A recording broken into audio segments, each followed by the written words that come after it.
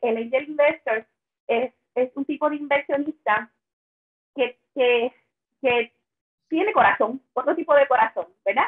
Sí, quiero, quiero chavo, ¿verdad? Porque quiero tener algún return en mi inversión, pero quizás parte de ese return para mí específicamente es lo que se llama un impact return, en el sentido de que qué impacto estoy causando yo con, con esa inversión.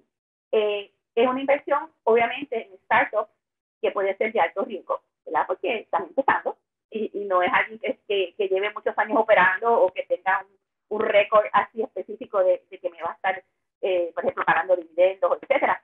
Así que, el angel investor pues tiene que llegar a un cierto tipo de eh, nivel de madurez, ¿verdad? Económica, donde pueda eh, aportar ese dinero a, a estas startups a cambio de eh, equidad, acciones o alguna participación en, en negocio que luego en el futuro, dependiendo del agreement que se llega, ¿verdad?